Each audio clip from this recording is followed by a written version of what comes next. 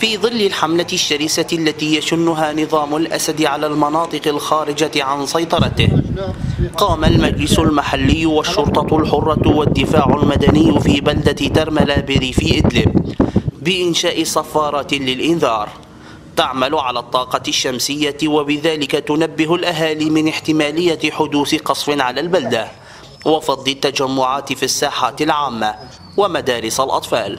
وإعطائهم وقتا لا بأس به من موت محتمل. مشروع هو عبارة عن جهاز آه، إنذار آه، يعمل على الطاقة الشمسية.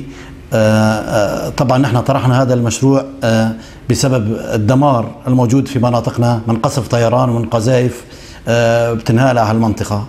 والهدف منه الأساسي هو حماية الأهالي الموجودين في مناطقنا وأهلنا من هذا الدمار. تعمل صفارات الإنذار في عدة نقاط في البلدة وعلى مدار الساعة لتنبيه أكبر عدد ممكن من الأهالي وعند إقلاع طائرات النظام ومعرفة الوجهة يتم استقبال نداءات المراصد اللاسلكية لتشغيل صفارات الإنذار التي تنبه باحتمال حدوث غارة أو حدوث قصف مدفعي وبذلك تتيح للأهالي الاختباء والنزول إلى الملاجئ يوجد صعوبة بالتواصل آه، بين المدنيين لأي استهداف. فكان الفكرة من صفارات الإنذار آه، إيصال أي معلومة تصل عن طريق المراصد لأي استهداف. لعدم توفر القبضات اللاسلكية ووسائل التواصل الاجتماعي بين الناس.